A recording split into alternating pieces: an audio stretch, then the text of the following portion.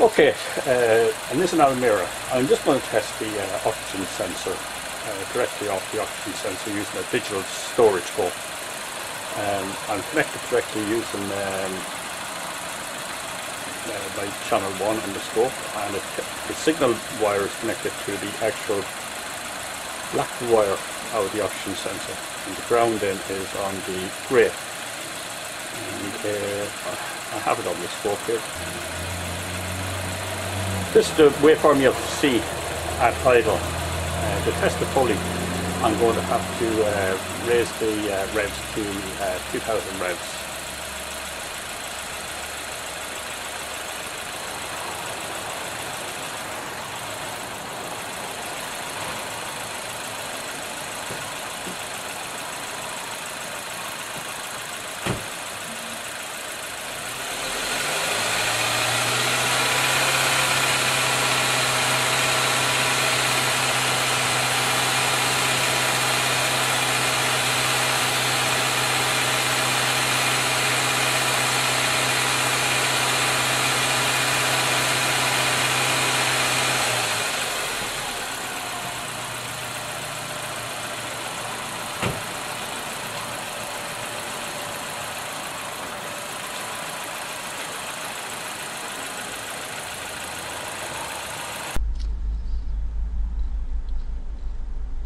I'm just going to raise the revs of the uh, the engine now to 2000 uh, RPM.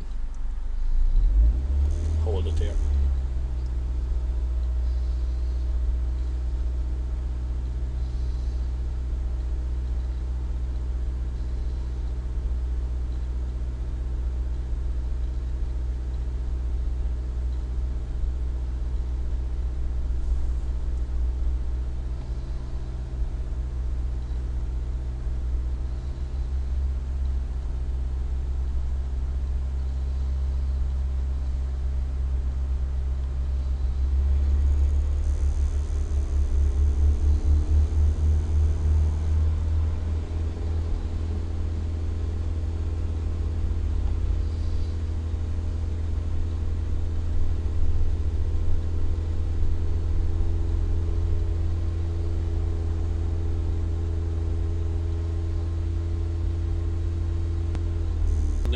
200 2000 RPM. And as you can see, the um, upper voltage is above um, 800 millivolts, which is good, and the lower voltage is uh, below 200 millivolts. I'm just going to pause it.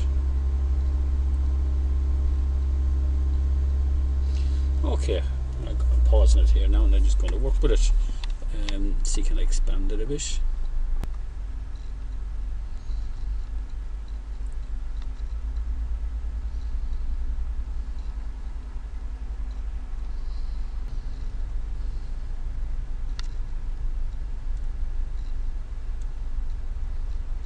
I'm just going to get this on 600 millivolts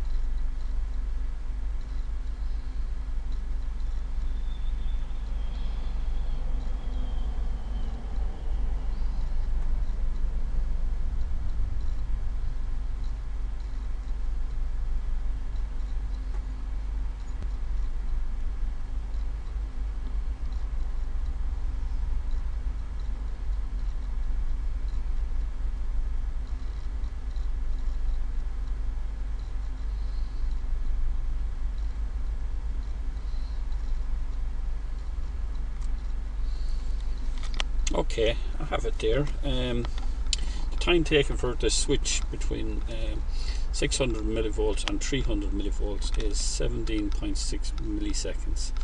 Um, took a bit of work to uh, get the cursor to.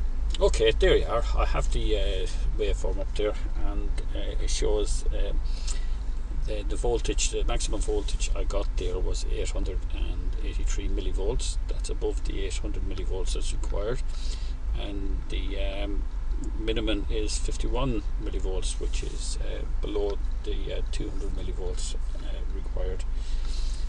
The switching time then is uh, the, the time taken to go from 600 millivolts to 300 millivolts, and that's at 17.6 milliseconds, which is adequate enough. Hope that is of some help to someone that's uh, trying to check out their oxygen sensor on their Almera. Thanks for watching.